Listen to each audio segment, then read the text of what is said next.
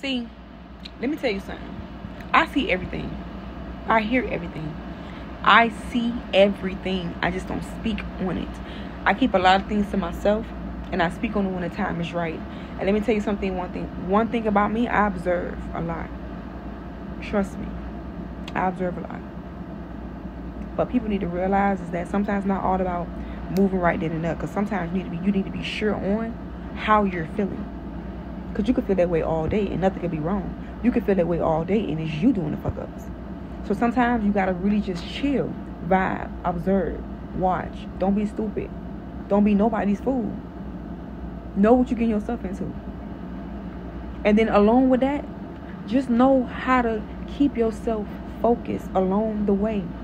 Because at the end of the day, what's done in the dark comes to the light. And people need to realize that. It's not so much shit you're gonna keep doing to people to treat them like shit.